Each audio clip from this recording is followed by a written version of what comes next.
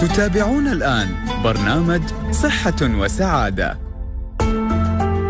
للمشاركة في البرنامج يرجى الاتصال على الرقم 600 55 14 14 أو عبر الرسائل النصية القصيرة اس 4006 صحة وسعادة. مستمعينا الأعزاء السلام عليكم ورحمة الله وبركاته وأسعد الله أوقاتكم وصبحكم الله بالخير والنور والعافية ويا مرحبا بكم وسهلا في برنامجكم الإذاعي اليومي صحة وسعادة، برنامج صحة وسعادة تقدم لكم هيئة الصحة بدبي بالتعاون مع مؤسسة دبي للإعلام وعبر أثير إذاعتكم المتألقة دائما إذاعة نور دبي.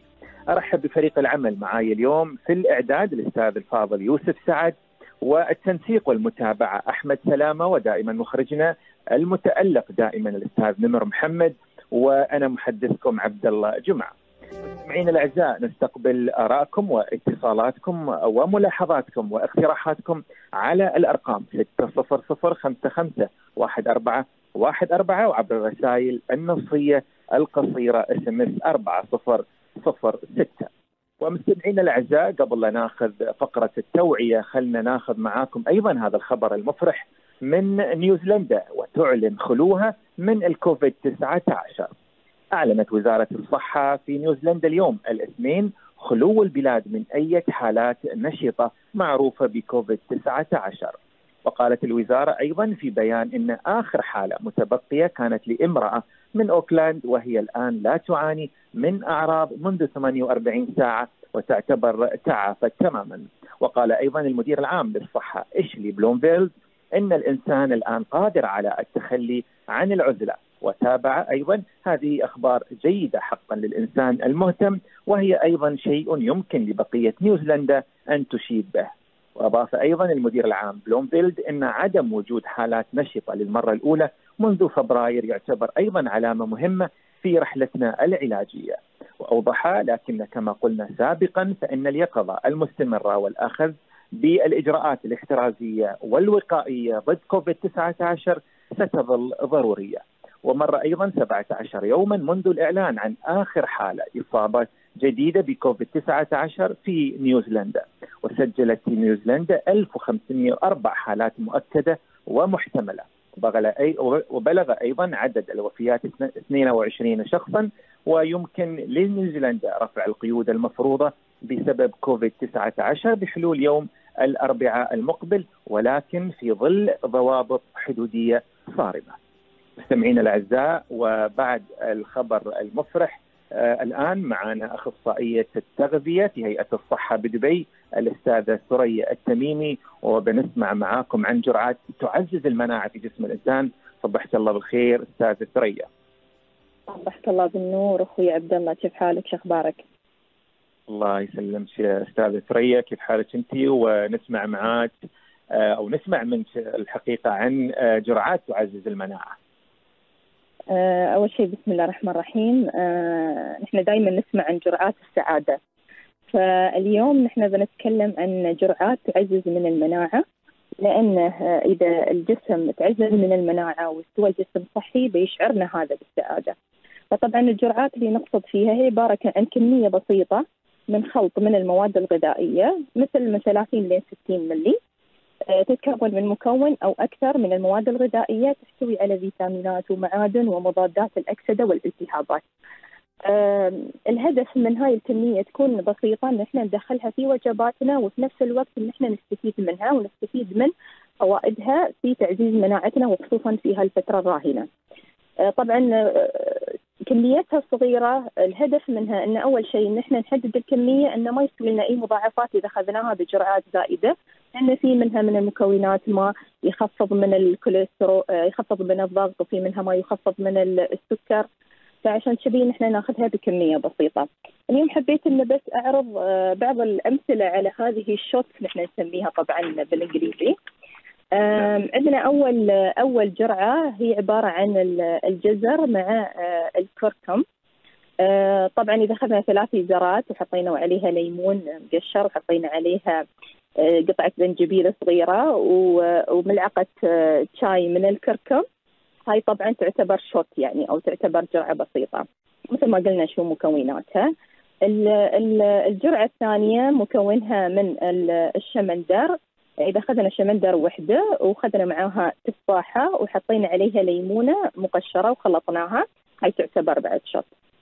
عندنا الجرعة اللي هي يمكن متداولة يمكن معظمهم يحبونها هي الجرعة الخضراء أو ال shot الأخضر. هو عبارة عن ليمون وعبارة عن سبانخ تقريبا حفنة سبانخ وحفنة من النعناع والبقدونس والكرفس تقريبا two sticks أو عودين من الكرفس والكيوي.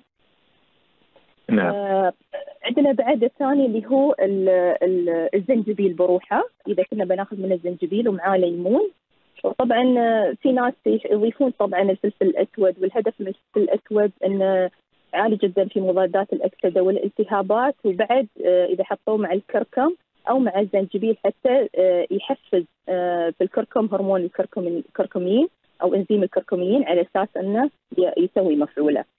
طبعا هذيل ال shot كلهم تقريبا فيهم أعلى شيء 114 سعرة حرارية وفيها جرام من البروتين وجرام من الكربو 25 جرام من الكربوهيدرات. آه في عندنا بعد الشوت البسيط اللي هو إذا حطينا بعد الليمون مع الليمون مع العسل إذا حطينا الكركم مع العسل طبعا بس ما نكثر إن نضيف وايد مكونات تكون مكونات بسيطة وفي نفس الوقت إني أنا أدخلها بكميه صغيرة جدا منها إني أنا أستفيد منها ومنها إني أنا أقوي مناعتي منها. نعم. هذا الهدف الأساسي من آه، هذه الجرعات. فنحن مهم جدا إن إحنا ندخلها في وجباتنا أو ندخلها في ناس وايد آه، مو بعارفين شو يدخلون مو بعارفين شو يأكلون في هاي الفترة. فممكن إن إحنا ناخذ هاي الكميات نقدر إن نخلطها مع كم من مكون آه، على أساس ان نحدد الكمية اللي نعم. ناخذها. نعم. أستاذ ثريا بخصوص الجرعات يعني أنت تفضلتي في يعني أعطيتينا أكثر من خلطة. فكيف ممكن إن الشخص يعني ينسق بين هالخلطات؟ هل ممكن ياخذ يعني مثلا آه، فترة الصباح جرعة وفتره المساء ولا إنه مثلا آه، تنصحين بأن مثلا خلطة واحدة من هالخلطات اللي ذكرتيها في اليوم الواحد؟ هي طبعا هو أهم شيء إن أنا ما أجلس آخذ كل الخلطات اللي موجودة ممكن ان أنا أخليها اوزعها على اسبوعيا مثلا إن آخذ على الأقل خلطة إلى خلطتين ويفضل إن في النهار إن إحنا ناخذ هاي الخلطات لأن في نعم. النهار يكون الجسم نشط والدورة الدموية دائما تكون نعم. نشطة نشطة طبعا فيكون ال ال تكون الاستفادة أكثر. في من ضمن الخلطات هاي طبعا بعض المكونات مثل الزنجبيل والاشياء آه بعد إنها تريح الأعصاب. نحن الحين في فترة توتر طبعا آه وناس وايد تحاتي فممكن الواحد حتى ياخذ هالأشياء حتى الليمون تساعدنا على إن نحن آه، نكون أعصابنا هادية ونكون يعني نرقد وإحنا مرتاحين بدون ما نفكر ب يعني بسالفة إن نحن كيف نقي نفسنا وكيف نقي نفسنا من الكورونا وما إلى ذلك. فهاي الأشياء مهمة جدا طبعا إن إحنا نسويها على الأقل أو ندخلها في وجباتنا. أنا أعطيتكم هاي الأمثلة نعم. إنه يكون يعني لو تلاحظ إن المكونات مش أكثر عن ثلاثة أو أربعة وبكمية بسيطة جدا جدا. صحيح صحيح. ممتاز آه شكرا آه أستاذة ثريا التميمي أخصائية التغذية بهيئه الصحة بدبي على المعلومات القيمة الحقيقة وجرعات تعزز المناعة شكرا لك. العفو. آه، مستمعينا الأعزاء مثل ما ذكرت الأستاذة ثريا بأن هناك الكثير من الأغذية ممكن نحن نستفيد منها خلال المرحلة آه، الحالية اللي من خلالها تزيد آه، مناعة الجسم وأيضا تقوي الجهاز المناعي. آه، بناخذ فاصل مستمعينا الأعزاء وبعد الفاصل معانا الدكتورة ندى الملا مدير مركز ند الحمر للرعاية الصحية بهيئة الصحة بدبي وحديثنا معها عن الناس والصيف والمحافظة على سلامة الأطفال وحياتهم والكثير أيضا من هذه المعلومات ولكن بعد الفاصل مستمعينا الأعزاء فاصل وراجعين. صحة وسعادة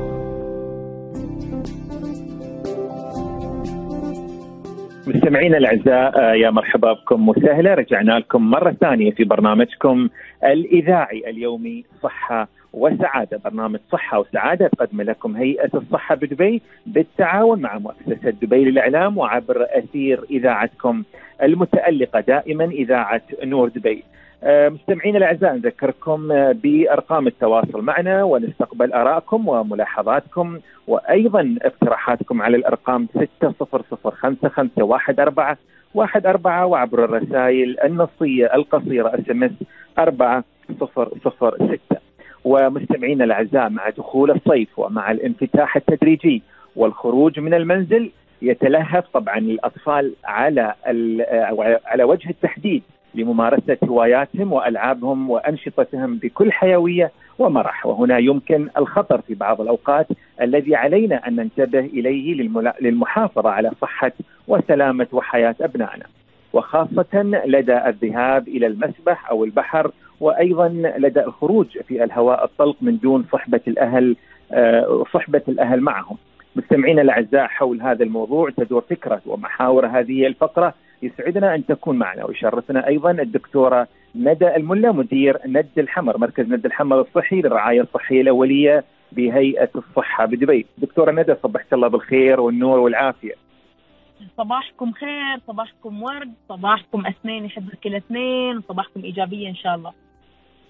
الله يحييك دكتورة نحن الحقيقة سعيدين جدا آه، بسماع صوتك وأيضا يعني آه، موضوعنا اليوم الناس والصيف والمحافظة على سلامة الأطفال وحياتهم. دكتورة طبعا الأطفال قد يكون يعني الكثير منهم مندفع خلال المرحلة هاي لممارسة الأنشطة والخروج من المنزل وأيضا الذهاب إلى البحر أو المسابح. كيف دكتورة تنصحينا أو تنصحين أولياء الأمور آه، في يعني الحفاظ على سلامة الأطفال وصحتهم خلال المرحلة هاي؟ آه، طبعا الصيف دائما يرتبط بأنشطة معينة. الأطفال آه، والكبار حتى يحبون يمارسونها وأبرز النشاطات طبعا تكون السباحة والذهاب للبحر والاستمتاع برمال البحر والشمس. آه، بشكل عام في نصائح معينة المفروض إحنا نلتزم فيها عشان نستمتع بأمان. لأن الغرض دائما في النهاية أنا دائما أقول هالكلام. الغرض إن إحنا نستمتع بأمان وما في حد يتعب أو يمرض بعدها. طبعا الأول خطوة للاستمتاع بأمان سواء بحر أو مسبح طبعا استخدام واقي الشمس، إحنا آه، دولة درجة الحرارة عندنا توصل ل 50 الشمس عندنا تقريبا تكون عمودية. استخدام واقي الشمس ضروري جدا نص ساعة قبل ما نطلع ونعيده كل ساعتين. وركز على الامهات ضرورة استخدام واقي الشمس للأطفال. يعني في أمهات تقول بستخدم واقي الشمس والكبار ما الصغار نفس الشيء. يفضل الأطفال تحت 12 سنة ناخذهم واقي الشمس المخصص للأطفال ويكون معدل الحمايه فيه 50 آه، فما أكثر أو مثل ما يعرفون SPF. وفي كثير من الامهات دائما يشتكون يقول دكتوره الياهل ما نرضى نحط له الواقي لأن الواقي الشمس يكون ثقيل شوية ومزعج ففي أنواع بخاخة وايد تساعد الطفل يعني تساعد الأم تحط له البخاخ لكن ممنوع الطفل يطلع تحت الشمس ايا كانت الساعة سواء العصر سواء المغرب سواء أول الصبح من غير وجود واقي للشمس. هذا رقم واحد. رقم اثنين آه مهم جدا طبعا ابتعد عن ساعات الذروة. يعني ساعات اللي تكون فيها شمس عمودية. يعني في بلادنا خلينا نقول من بعد الساعة 10 للساعة 3 الشمس تكون فيها عمودية وحارة جدا. يفضل في هذا الوقت أصلا ما ننزل البحر. يعني روحوا يا أول الصبح. طبعا وسط الأجواء الحين الإجراءات الاحترازية طبعا يكون خفيف البحر ما في وايد ناس. أو نروح بعد الساعة 3 العصر عشان تكون الشمس أقل حدة وما تكون عمودية. لبس القبعة جدا أساسي. تحت الشمس حتى مع واقي الشمس لازم يكون في قبعة لازم يكون لابسين ثياب خفيفة فاتحة وإذا بينزلون البحر أو المسبح يلبسون لبس مناسب للبحر لأن آه ترى الثياب القطنية العادية يا جماعة ممكن تسهم في الغرق لأن تنترس بالماء ممكن تلتف حوالين رقبة الطفل أو تلف حوالين راسه لازم يلبس لبس السباحة المخصص لأن هذا اللبس ما يستجيل مع الماء ما يسجل الطفل رقم واحد رقم اثنين نعم. قابل للاستخدام في الماء آه أيضا مهم جدا آه شرب الماء طول الوقت. للأسف الأطفال لما ينزلوا المسابح أو البحر ما يحس بالعطش.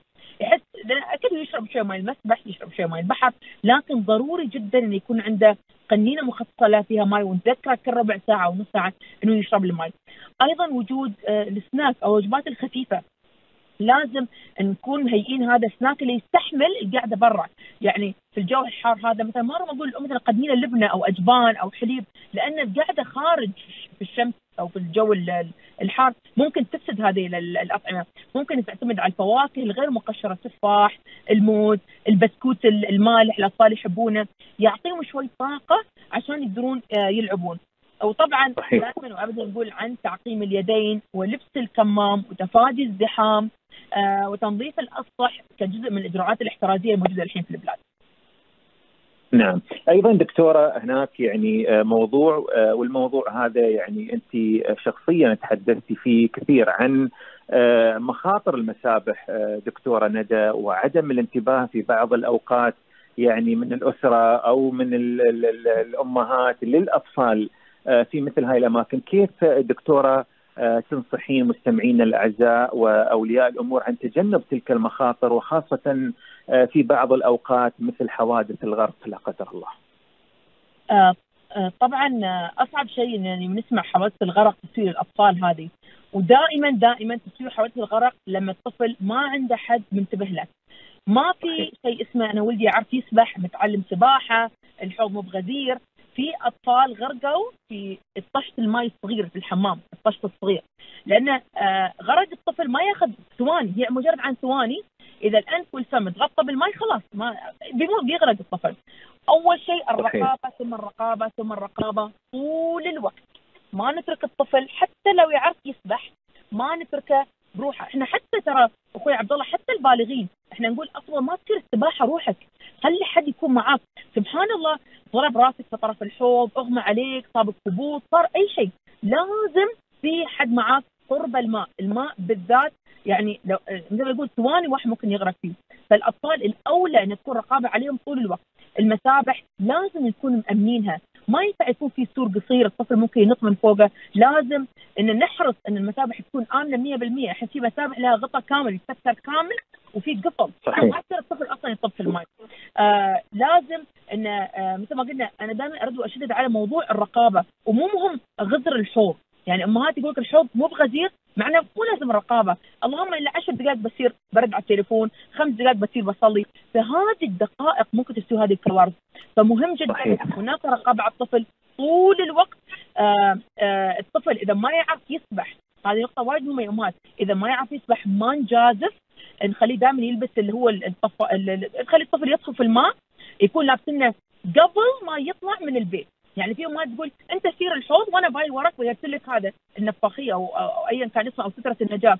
ليه ما الام تطلع تلاقي الطفل طب في الحوض يمكن في الجزء الغزير من الحوض أو شيء يكون لابسنها ونتأكد مهم جدا يا أمهات من مقاسه هاي ستره النجاه تنلبس كامل. في أمهات تتساهل في الموضوع انه مو متسكر على الطفل لأنه صغر عليه فتخليه يلبسها من غير ما يتسكر. هذا بسهوله الطفل لو طب في الماء ممكن يطلع عنه يعني يطلع عن شكله. خلاص آه، ما ما يوفر حماية. أو يوفر له حماية لجزء من جسمه والجزء الثاني يتم غاطس في الماء. فمهم جدا إن لما نستخدم أي ستره نجاه للطفل لازم تكون على مقاسه مسكرة كامل حرصا على إن الطفل آه إن الطفل لا سمح الله ما يغرق. وأيضا وجود سترات النجاة أو هذه الطوافات أو ايا كان اسمه لا تمنع الغرق وكلها عليها تحذير انها لا تمنع الغرق. في أطفال كانوا لابسين لكن للأسف طاحوا في الحوض آه، راسهم تحت وريلهم فوق ما قدر ينجلب. ما قدر يطلع راسه فوق الماء فغرق الطفل. فما في شيء اسمه هو لابس معناه ما ما راح يغرق. فنرد نقول الرقابة ثم الرقابة ثم الرقابة. يعني دكتورة آه، مثل ما تفضلتي رغم بأن يعني وجود كل هاي الاحتياطات مثلا آه، بس بعد نرجع ونذكر مستمعينا الأعزاء بأن مثل ما ذكرت الدكتورة ندى يعني رغم كل هاي الاحتياطات اللي تأخذونها بالنسبة للإجراءات الواقية بس بعد ضروري وجود آه، شخص موجود مع الطفل طول فترة وجوده يعني حول الحوض أو حتى وقت السباحة. آه، دكتورة ندى أيضا من الأمور اللي مثل ما تعرفين إنه قد يصيب يعني أو يصاب بعض الأطفال آه، بالحوادث اللي هي تركهم في السيارة في بعض الأوقات. وهناك أيضا يعني ممكن أن يعني يعني ممكن أن تصيب بعض الحوادث حوادث الاختناق للأطفال. لو نتكلم في هذا السياق وتنصحين بعض ال يعني تنصحين مستمعينا الأعزاء والأخص يعني الأمهات في هذا الجانب. طبعا الحين لأن الأطفال أصلا صاروا فترة طويلة قاعدين في البيت بسبب التعليم عن بعد فتلاقي الطفل أصلا مثل ما يقولون جرعة شطانته شوي أكثر من الملل وقاعدة في البيت، ألعاب مسكرة، بحر كان فترة طويلة مسكرة، الحدائق مسكرة، فالطفل قاعد يطلع طاقته في البيت. بخصوص الأطفال اللي بسم الله عليهم آه، يتوفون داخل السيارات. أريد أقول الرقابة ثم الرقابة ثم الرقابة يا أمهات يا أبهات. ما ينفع إن الطفل في البيت ويغفل مثل ما أمهات يسمونه يغفل عن عينك، يعني ما تسمعون له صوت وما تشوفونه. هذا أول جرس إنذار، ولاحظوا كل القصص اللي الطفل يا غرق يا مات في السيارة تقول لك الأم غفل عن عيني نص ساعة أو ساعة ما أعرف وين صار. فيجب اريد أقول الرقابة ثم الرقابة ثم الرقابة، لازم عيننا على الطفل طول الوقت وما نقول تسع سنوات عادي، لا وترى بال بال بالأغلب الأطفال من اللي يتوفون سواء غرق أو في السيارة بالعادة يكون ست سنوات فما أقل، لكن هذا لا يمنع أنه هو يعتبر إلى الآن طفل، يعني لين عمر 12 سنة يعتبر في إعداد الأطفال، فأريد أقول لازم في رقابة، رقم واحد، رقم اثنين. يا جماعة احرصوا أن السيارة تكون مقفوله في البيت. جونا لا يساعد ابدا أن حد أنت يعني إحنا نقعد في السيارة مكيف شغال عند الإشارة خمس دقائق ما نكمل ونفطس من الحر من الشمس. وين سيارة مسكرة؟ ما فيها هواء درايش مسكرة قاعد الطفل الله الطفل ساعة حتى ساعة واحدة يعني يخلص الأكسجين عنه والحرارة العالية. فمهم جدا قفل السيايير. مهم جدا نعلم عيالنا شو يسوون لا سمح الله لو دفوت لو كانوا في السيارة ودفوت عليهم. ترى إحنا دائما شو نقول؟ لا لا ما بيستوي يعني أنا مقفلة السيارة أنا عيني على ولدي لا إحنا نعلم الطفل شو يسوي في الحاله لو تقفل إنه هو طبعا آه، ما يدق الدريشة. لا هذا خطأ. يدق الهرن أو بوق السيارة أو ايا كان اسمه. عودوه. قولوا ماما لو أنت تفكر عليك السيارة دق الهرن تم دق دق دق دق لأنه بيلفت الانتباه أي أي أي مكان يكون وممكن يكون أي واحد يعني مار ممكن يسمع. نعم صح. بالضبط. والهرن السياره يشتغل سواء سيارة مطفية أو سيارة شغالة.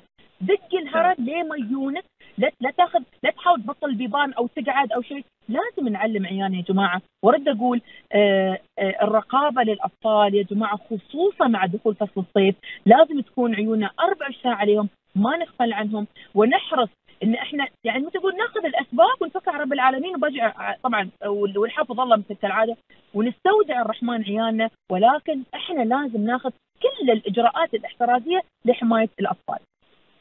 نعم آه، دكتورة طبعا يعني آه، هناك الكثير من الإجراءات الوقائية والاحترازية التي التي يعني يجب على الأهل أخذها بالاعتبار بالنسبة للكبار يعني أو حتى للصغار ولكن بالأخص للأطفال لأن هناك كثير من الأمور لابد أنها تؤخذ بعين الاعتبار. آه، دكتورة ندى لو هناك رسالة أو نصيحة أخيرة للأمهات والآباء في هذا الشأن. آه، نصيحتنا الأخيرة للأهل آه، أول شيء الله يحفظ كل اليهال إن شاء الله. آه، ما نسمع خبر عن طفل غرق أو نحبس السياره وتوفى.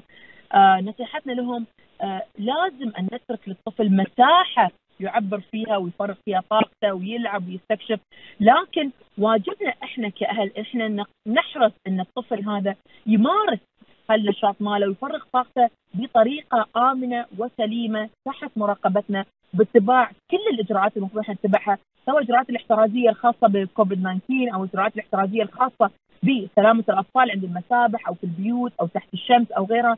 فالتزامنا بهالإجراءات آه، تسهم في إن عيالنا يتمتعون بصحة أفضل. يعني طبعا آه، مو بحالنا نقفل الطفل البيت ونخليه قاعد، لازم الطفل يركض، لازم يلعب، لازم يمارس هواياته، لأن آه هذا اللي يساعد على تجديد طاقه الطفل على إنه ينمو أفضل على إنه يكون, يكون بوزن أفضل. لازم أخلي الطفل يمارس هذه النشاطات. مو بعذر إنه والله الاماكن مسكرة ممكن الطفل يلعب في البيت. لكن أريد أقول بأمان نقدر إحنا نمارس ونحن نلعب مع عيالنا. وأنا هاي رسالة لكل الأهل. حاولوا تمارسون النشاطات مع عيالكم يقوي العلاقات رقم واحد، العائلة كلها تكون بصحة أفضل رقم اثنين، ورقم ثلاثة آه يخلي مراقبتنا لأطفالنا حتى أفضل، لما أنا ألعب معاهم كرة قدم أو ألعب معاهم في المسبح أو أنزل معاهم بحر أنا عيني معاهم طول الوقت، عكس ما أكون أنا بعيد جالس على الكرسي مشغول بتليفون أو غيره، والله يحفظ إن شاء الله كل اليهال. آه، دكتورة ندى الملا مدير مركز ند الحمر الصحي للرعاية الصحية الأولية بهيئة الصحة بدبي آه، شكرا جزيلا شكرا جزيلا لك دكتورة ندى وشكرا لك الحقيقة وفريق عملك المبدع على يعني عملكم الجبار الحقيقة والبرامج التوعوية اللي من خلالها يتم توعية يعني أفراد المجتمع سواء عن الكوفيد 19 وعن وعلى جميع المحاور اللي يحتاجها الشخص إنه ياخذ إجراءات الاحترازية والوقائية. شكرا دكتور شكرا لك وسعد نهارك سعيد. شكرا. شكرا. مستمعينا الأعزاء بناخذ فاصل ولكن بعد الفاصل معنا الدكتور خالد لوتار رئيس مجلس الشباب بهيئة الصحة بدبي تحت عنوان التطوع ومستوى الاستجابة لمنصة هيئة الصحة بدبي ومعلومات أخرى أيضا قيمة عن التطوع كقيمة إنسانية وحضارية. ولكن كل هذا مستمعينا الأعزاء بعد الفاصل خلكم ويانا وراجعين. صحة وسعادة. مستمعينا الأعزاء يا مرحبا بكم سهله ورجعنا لكم مرة ثانية في برنامجكم الإذاعي اليومي صحة وسعادة تقدم لكم هيئة الصحة بدبي بالتعاون مع مؤسسة دبي للإعلام وعبر أثير إذاعتكم المتألقة دائما إذاعة نور دبي. نرحب مستمعينا الأعزاء باستقبال آرائكم واتصالاتكم وملاحظاتكم وأيضا اقتراحاتكم على الأرقام 600 5514 واحد أربعة وعبر الرسائل النصية القصيرة SMS أربعة صفر صفر ستة.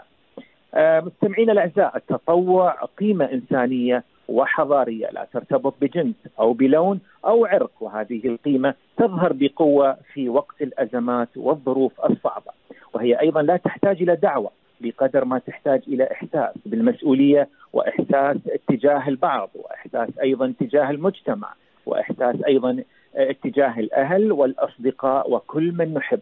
وفي مجتمعنا الحمد لله في دولة الإمارات العربية المتحدة بوجه التحديد مجتمع يعيش فيه أكثر من 200 جنسية في أمن وسلام ونسيج واحد يجمع الكل يجمعهم أيضا حياة سعيدة ومستقرة مستمعينا الأعزاء حول هذا الموضوع اليوم يشرفنا أن يكون معنا عبر الهاتف الدكتور خالد لوتار رئيس مجلس شباب هيئة الصحة بدبي. دكتور خالد صبحك الله بالخير والنور والعافية.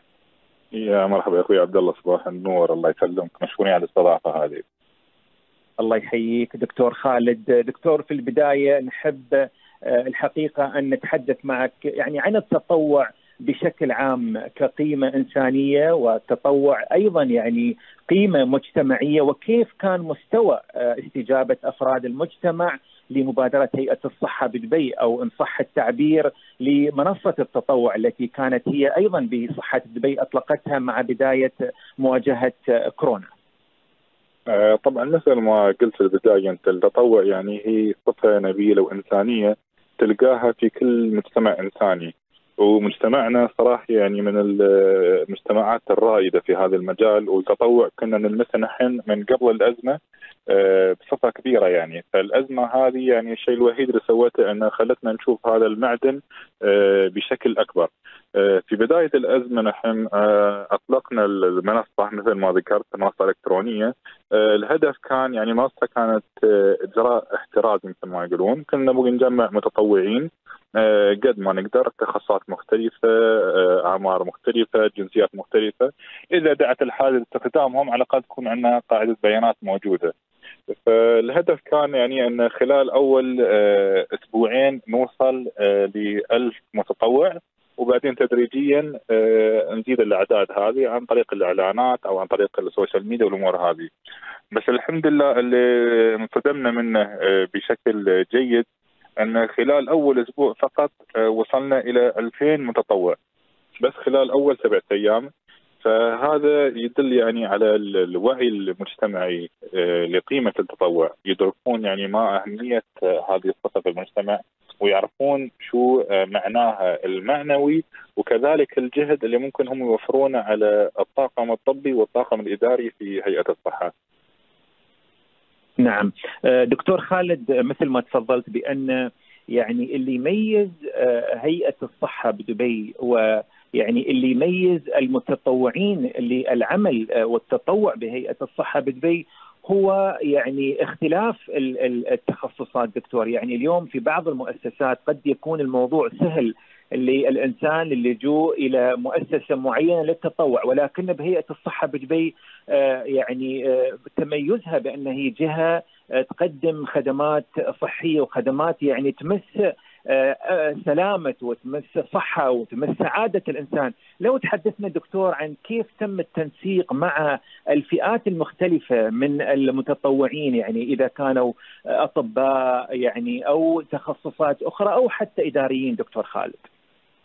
نحن في البداية يعني يوم فتحنا المنصه قسمناهم إلى مجموعتين اللي هي التخصص الطبي آه، أطباء وتمريض وغيره الأطباء المساعدين والتخصص الثاني هو تخصص إداري.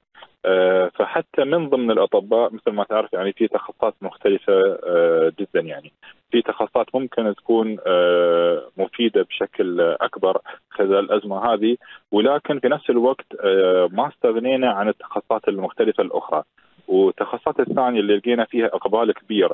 وممكن الجهات الثانية تقول إن هذيلا ما بيساعدونا نحن بالعكس نحن أخذنا هذيلا وسوينا لهم دورات وسوينا لهم ورش تدريبية وجهزناهم. وحاليا لنا الحين يخدمون في منشآت عزل وفي فنادق وفي أماكن كثيرة. آه، مثلهم حال حال الأطباء. يعني يساعدون في أمور آه، ما حد كان يتوقع إنه ممكن يساعدونا. يعني فحقيقة يعني المتطوعين في هذه الأزمة يعني آه، من غيرهم ما كنا بنشوف النجاح اللي وصلته إمارة دبي آه، في التصدي لهذه الجائحة يعني. فهذا شيء يشكرون عليه كل متطوع كل من ساهم كل من سجل كل ما نشر المنصة هذه.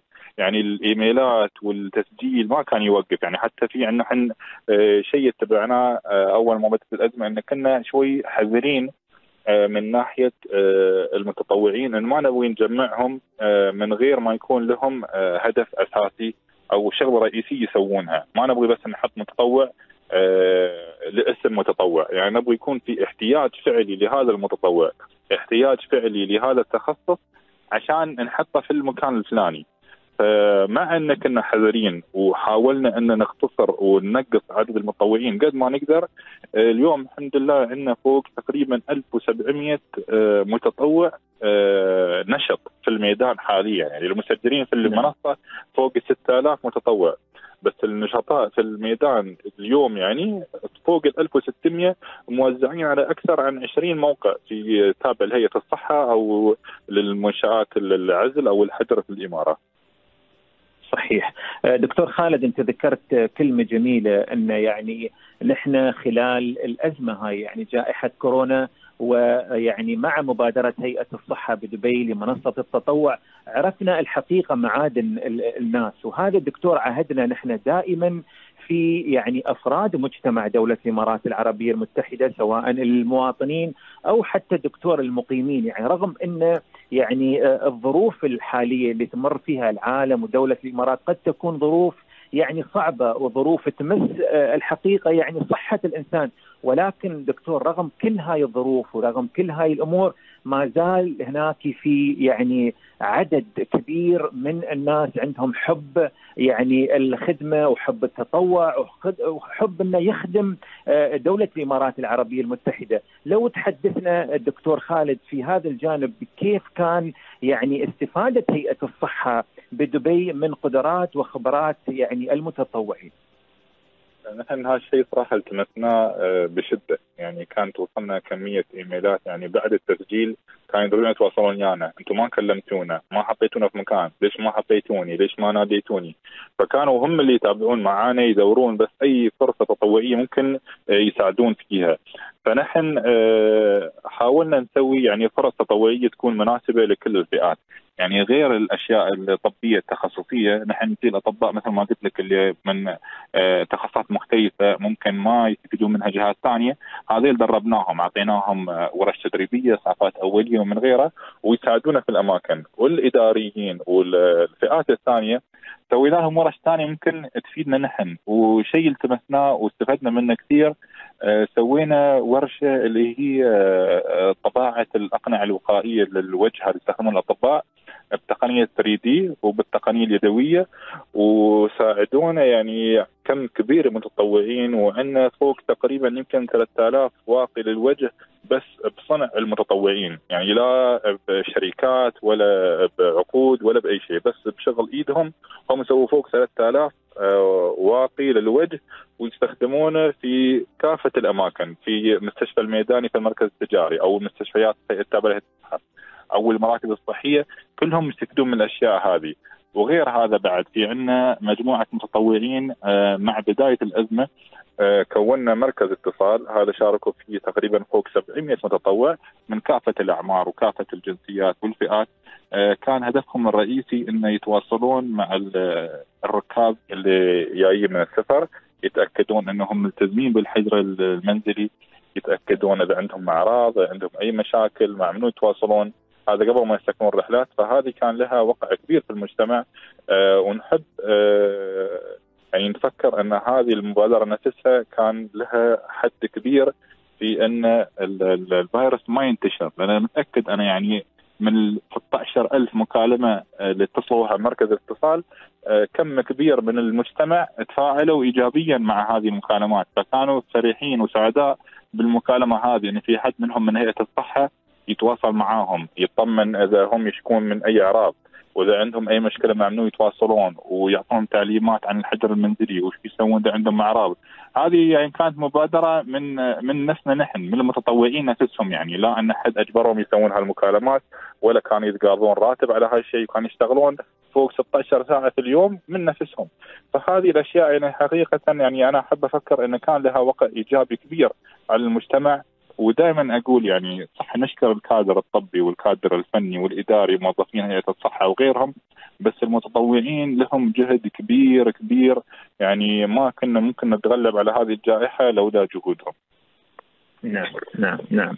آه، الحقيقة يعني آه، كلام جميل آه، أستاذ أو الدكتور خالد التطوع طبعا دكتور دائما يعني له قيمة إنسانية وقيمة حضارية ولا يرتبط الحقيقة مثل ما ذكرنا في البداية بجنس أو بلون أو بعرق وهاي القيمة الحقيقة يعني تبرز آه، بقوة في وقت الأزمات والظروف. آه، دكتور إذا كانت هناك من رسالة أو كلمة أخيرة تحب توجهها لأفراد المجتمع عن قيمة التطوع. أه نحن صراحة يعني أحب أشكر كل اللي تطوع معنا كل كل من ساهم في نشر هذه المنصة وكل من ساهم في إنه يتطوع معنا حتى لو آه، بساعة.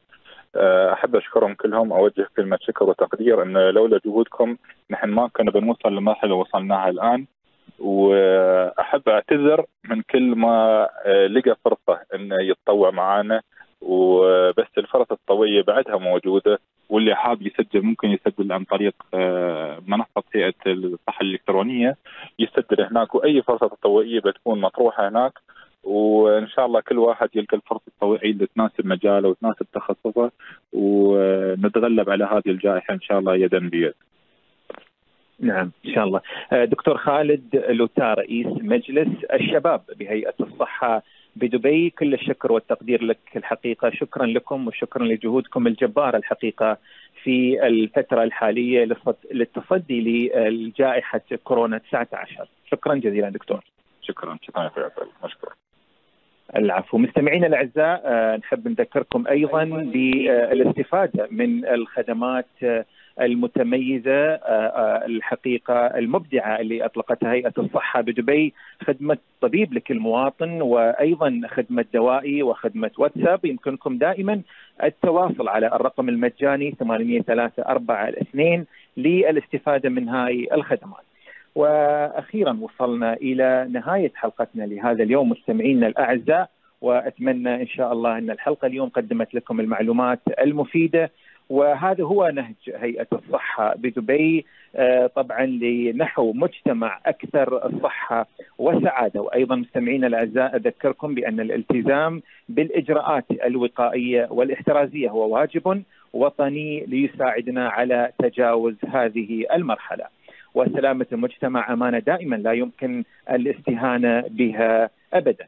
أحب مستمعينا الأعزاء بأني أشكر فريق العمل معي اليوم في الإعداد الاستاذ يوسف سعد والتنسيق والمتابعة أحمد سلامة ودائما مخرجنا المتألق نمر محمد وتقبلوا تحياتي أنا عبد الله جمعة أستودعكم الله والسلام عليكم ورحمة الله وبركاته. صحة وسعادة بالتعاون مع هيئة الصحة بدبي